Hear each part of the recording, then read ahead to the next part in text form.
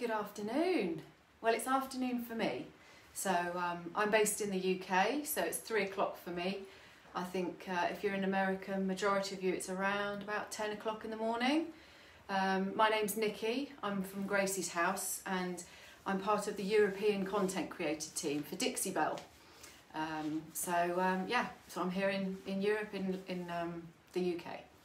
Um, so today, uh, I'm going to show you it's quite a basic um, finish I'm going to show you today.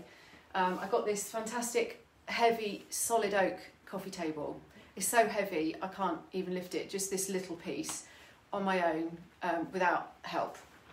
So I've popped it on some wheels so it's easy for me to show you what I'm doing. Um, so the finish that we've got to begin with is this kind of yellowed slightly, um, you know, it's been, it's been worn by some time where it's been, been used um, and it's just it's just got darker. The wood's got darker, so I've given it a really really good clean. Now in the UK here, um, we can't get White Lightning by Dixie Belle, so I use um, a product called Elbow Grease, which is a little bit like a sugar soap, but it's fantastic for stripping any greases, any polish off.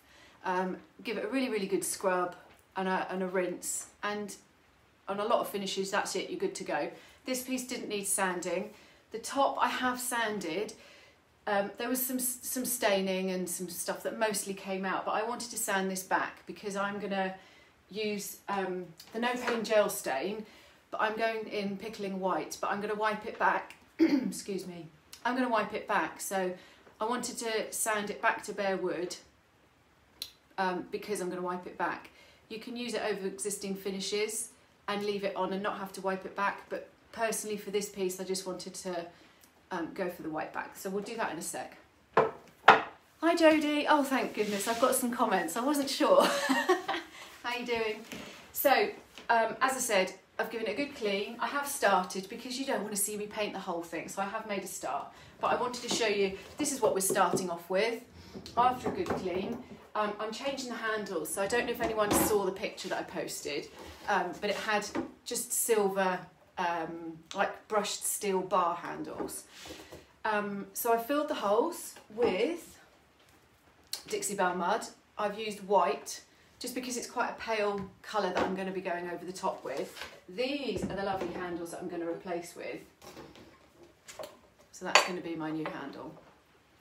So this kind of this kind of style for me, it fits into a, a range of um, categories because it's it can be beachy in a beachy setting. It can be quite farmhouse cottages it works for. But it's that very sort I'm looking for a very pale washed out look. So it's a very simple one colour technique we're going for and that's it. And then as I said we're going to stain the top.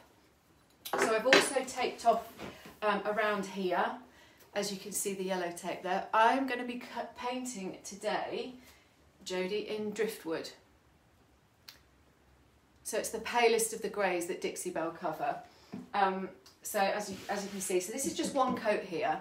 Um, it, the coverage is pretty good, but I will just go over it with a really light um, second coat. Um, I'm using a Dixie Belle Mini today. Um, these have just arrived. I'm very excited. I tried it the other day and it's really great. And the, I mean, not only does it put the paint on lovely, but it fits in this gap. So I was really struggling. A lot of my other brushes have got um, Hi Nikki, fab name, it's a brilliant name. A lot of my other brushes are, are longer handled.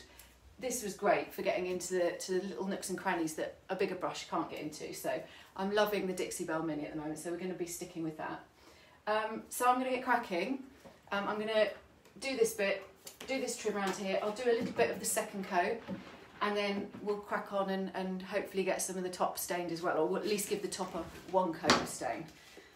So if there's any questions anyone's got, or if you want to let me know where you're watching from, if I do miss a question, um, Jodie, the mini's brilliant, isn't it? If I do miss a question, I will pop back on, I'll monitor everything and I'll answer anything that I miss as, as I'm going through. So I do like this driftwood colour, it's really, really pretty for a grey. Um, and especially for this beachy sort of washed out, just faded, pale, nice, nice look that I'm going for on this piece.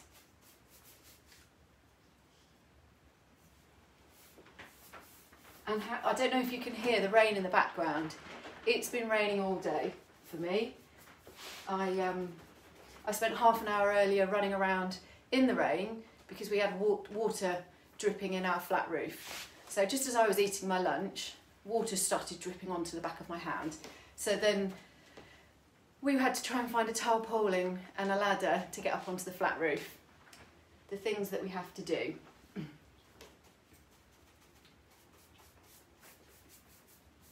So as you can see, that's just one that's just one coat and it really does go on really, really well. Um, I have got my spray bottle with me. I don't tend to, um, Jodie, I tend not to use too much water on the first coat. It depends how it goes on, but for this, I haven't needed to. For the second coat, I always mist. Um, I just find that the coverage is a, is a bit better if I don't use too much water to begin with. But again, it's kind of project by project. I um, I kind of make my decisions as I go along, and the piece kind of helps me make that decision. And I think if you've got a plan and you feel like you have to stick to it, not everything works out that way when it comes to redoing furniture. So, um,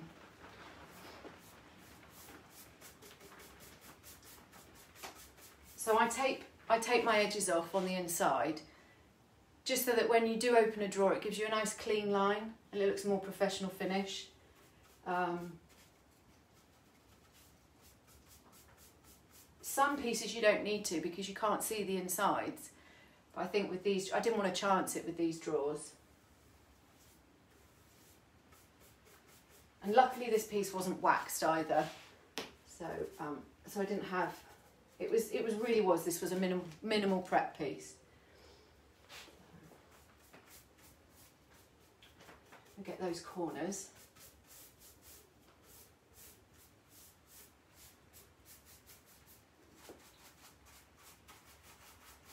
So I'm actually sat in front of my staging wall because um, it's the tidiest part of my workshop. The floor looks hideous otherwise. But don't worry, paint comes off it really well. It's the only part of my workshop that I actually clean the floor off. Everything else just gets splattered and dripped. And it doesn't matter. I'm actually going to use a bit of water at the top.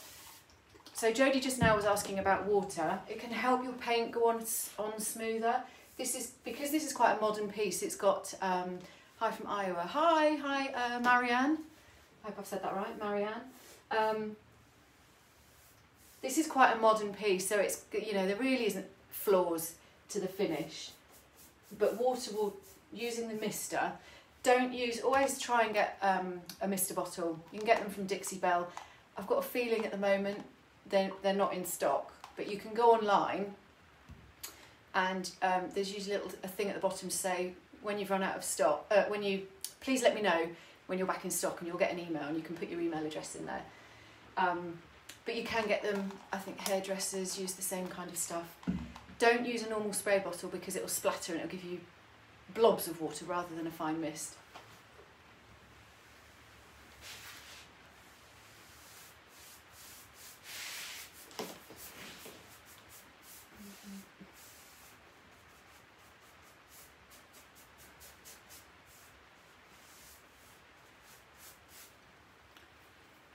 Jodie said. Yeah, yeah, I think, you know, we're creative. We don't clean up after ourselves. uh, right, I'm to just do, I'm actually to show you something else. I, I do two things. In between coats occasionally. Um, oh, you can get it from a stockist. Thank you, Jodie. Yes, you can get it from a stockist, of course, if you've got a local one to you. Um, there's two ways to do if you if you feel like you just need to knock back a bit of the the dryness and the sandiness or if you've got any little pieces that you can feel in it um, I've got these, um, they're like, they're like big scrubbies. I can't even remember where I got them from. But I also got these really, really ultra fine sanding pads.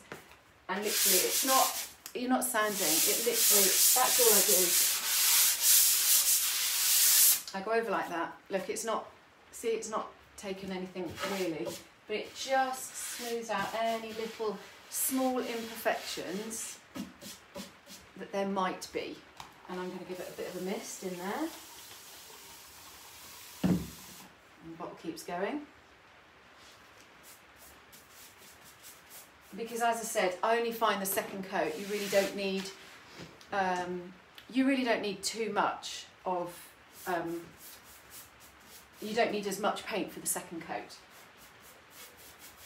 And you see it, you literally just really do a rough brush over. And because the water's there, it goes on really smooth. It fills in any, any bits, any small pieces that you might have missed off on the first coat. I won't go right to the back because it's really just to show you. I'm going to I'm going to do down there because at the moment you can see there's a lot of grain that I can see here. So I'm just going to fill those grains in. Because they didn't get caught on the first pass, the first coat.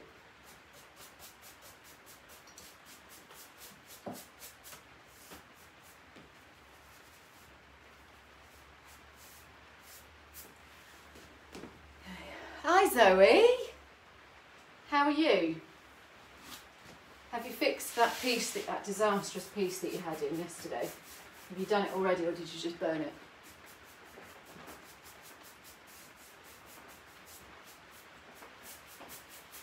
Okay.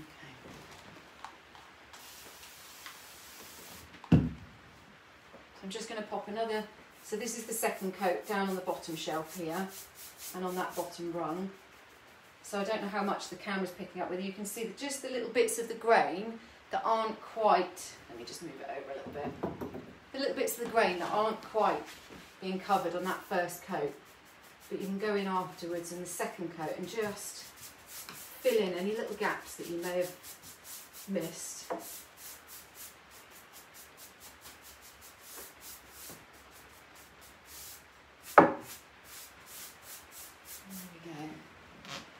see this is this is this is it. So there was no primer on this. This is two coats and it's done. And it's you know as I said, it's the palest grey um, in the the range, and um, two coats. It's brilliant. The coverage is fantastic.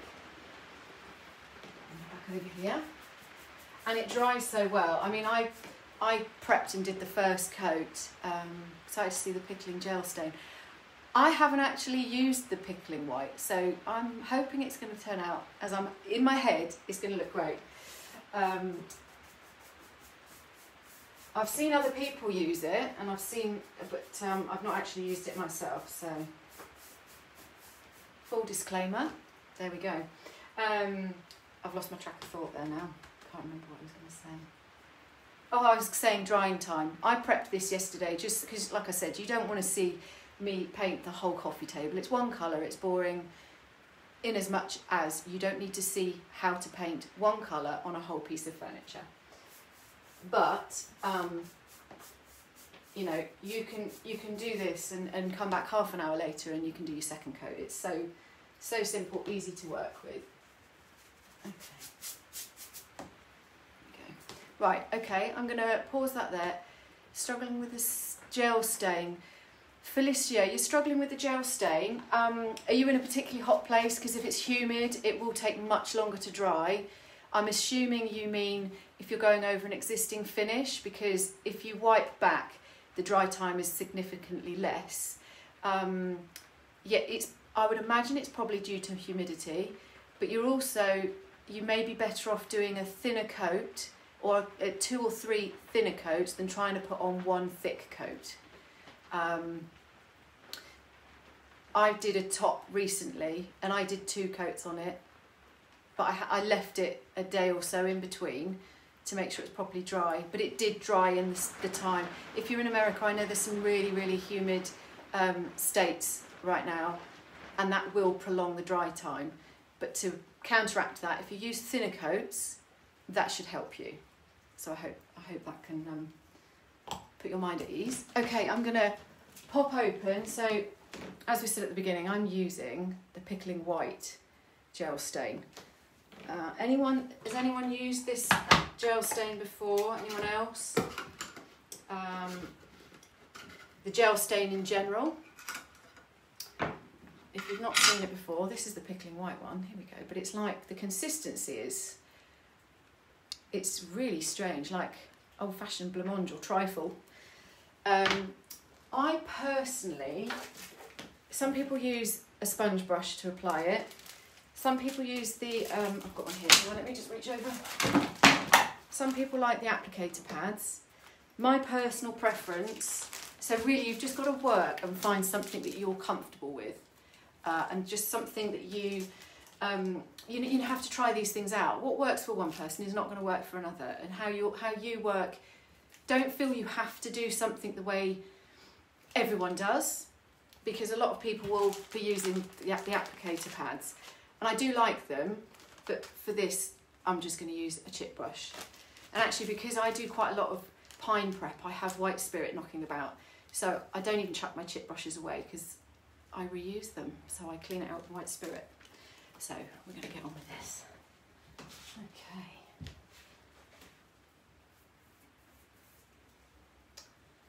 Do you know what I've just realised? I got a kitchen towel out ready earlier and it's the one thing that I've not managed to bring down to the workshop. I've left it on my kitchen table. So that's quite annoying. So I've got some workshop rags. I'll just have to use one of those. So I chose white because I didn't want, I want, like I said at the beginning, I didn't want to go, I wanted to go like a real washed out, almost, I mean the paint's called driftwood. I sort of wanted that effect and I felt like if I used the grey it might just be a bit too dull having grey and grey. And another reason I'm wiping this back is because I didn't want the solid colour. I could just paint it. For this particular piece I wanted it to tone down the oak and give it like a an aged worn sort of look. Marianne yes I did on this particular piece because I'm going to wipe it back. I sanded it back to bare wood. Um, so I want it to take, I'm not going to leave it to sit on it. So I'm just going to wipe back that bit that I've done there. Let me just grab a rag.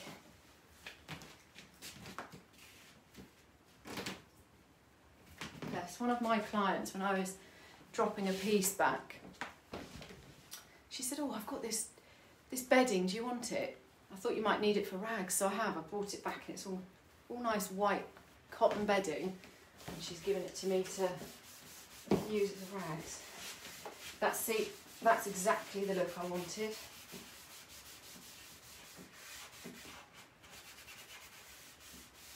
I might just, once I've just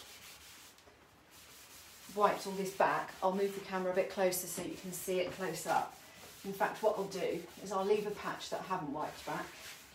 So let me just, if I can do this. Oops. So, I don't know how well you can, no, you can't see that at all. See, that's the bit where I've wiped it back. And you can see the difference on the bit that I haven't wiped back. Let's just run down there. So it's giving it a real sort of soft, a soft washed out look. And because it's a natural wood, obviously you'll have parts that take it more than others, but I kind of wanted that. And it's sitting in the grain really, really nicely.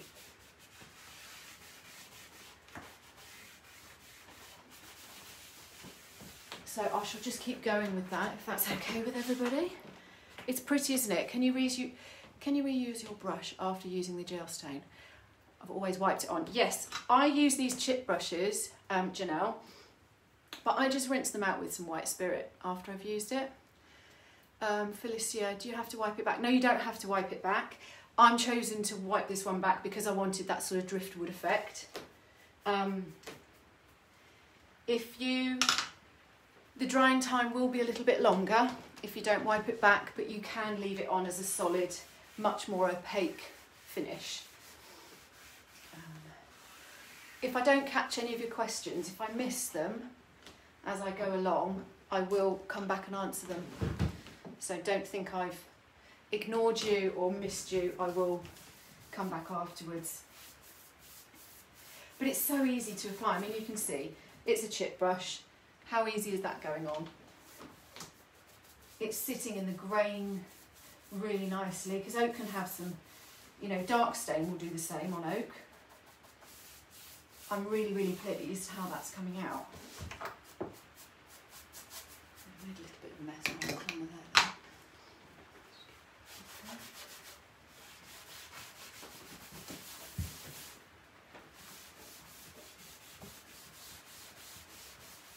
So when I said I didn't want to use the grey, I just felt like the grey would make it a little bit too dull for this project. And I wanted the white, faded white look to just lift it a little bit.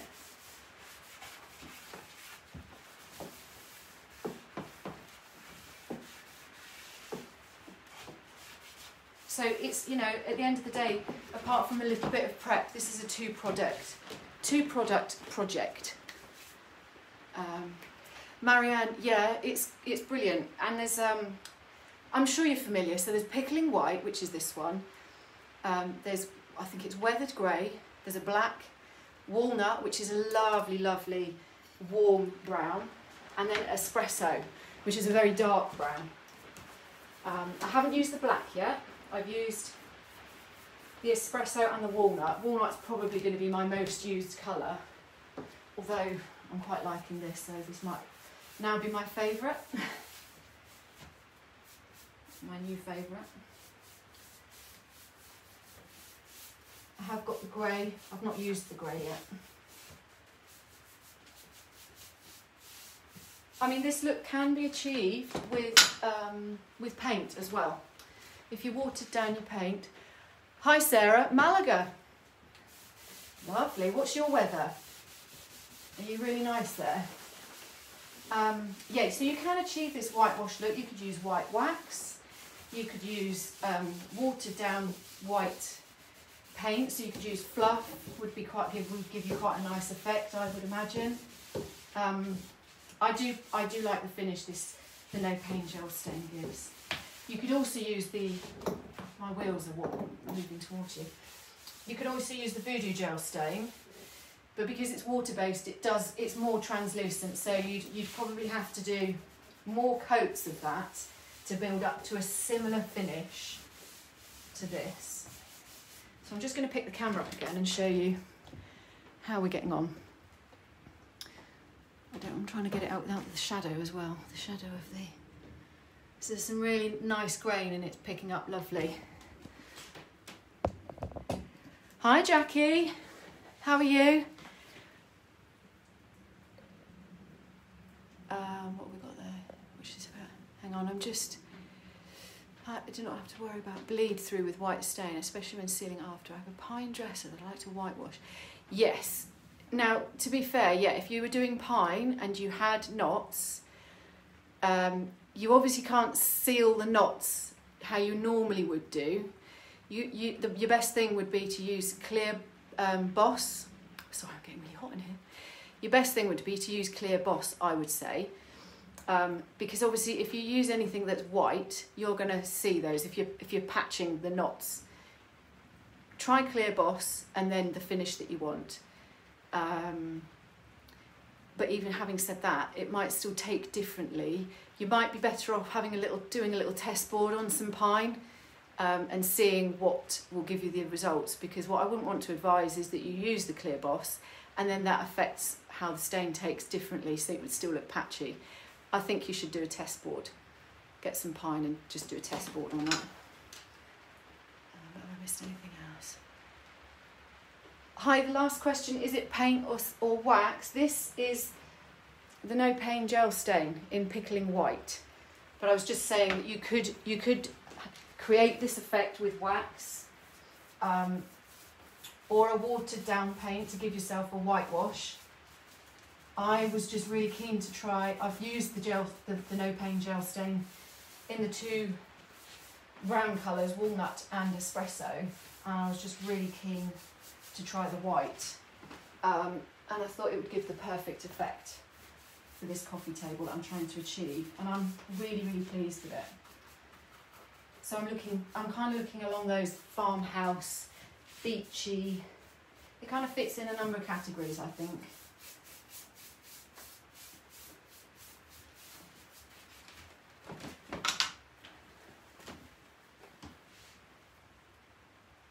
Jackie, yeah, so that was your plan. Good.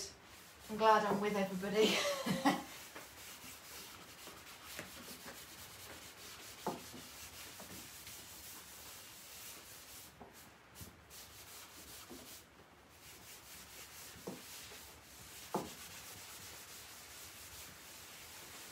And of course, if this, you know, if you want to, um, if this isn't thick enough for you when you wipe back, you just wait for it to dry. Do it another, do, you know, wait overnight is probably best, and do another coat because you'll still get that washed look, but you'll just get a little bit more density to the colour.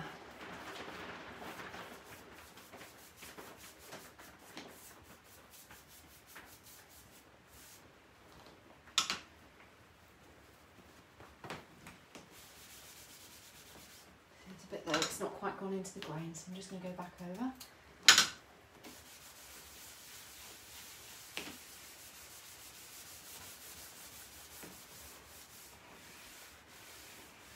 So I should have, what I should have done before I came on, I should have um, done the drawer fronts.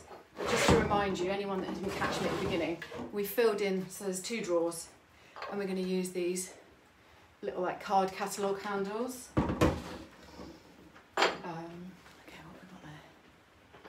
No, I don't paint the whole piece with a chip brush, Sarah. Um, I'm just using this for the stain because if I do need to chuck the brush out, it's not too much of a problem. For the rest of the piece, this particular piece, I've used a, a mini, Dixie Belle Mini.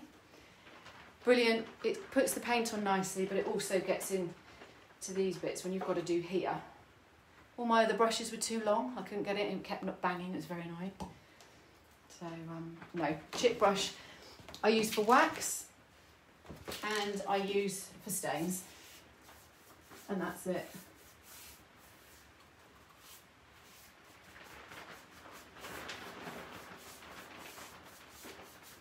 But I do reuse my chip brushes so I'm not um, so these ones with the plastic handles that if you just soak them once using this kind of product if you just soak them in um, white spirit they're reusable you know, you don't have to think about chucking everything away.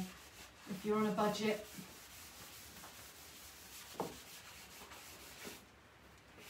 I forgot to put, I even got gloves out ready, forgot to put the gloves on. You need gloves when you're using this stain. It's oil based, it will stain your hands. At least it's white and it's not dark brown or black. Okay.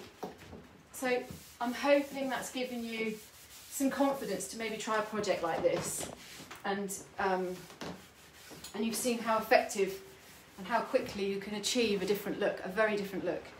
Anyone who missed the beginning of the um, video, you'll see what the finish used to look like. Curious, will you brush on a top coat or do you spray on the open shelves? I'll brush it on, um, I'll brush a top coat on this, on the, on the top of this once this is you need to wait on no pain gel stain if you're going to top coat. You need to wait a good three days. And as we were talking about um, humidity, you need to really make sure that that's dry before you do any kind of top coat. I tend not, I, I don't really get involved with spraying top coats. I use a brush for all of mine. Um, and the Dixie Belle top coats give such a great finish. Um, you can, obviously you can spray them if that's your preference, but I personally find it goes on fine with the brush. So, okay, I think we're pretty much at the end. I really, really appreciate you all coming on to watch. Um, it's, you know, it's raining, but gosh, it's hot. um, and I hope I've inspired uh, you to maybe try something like this in the future.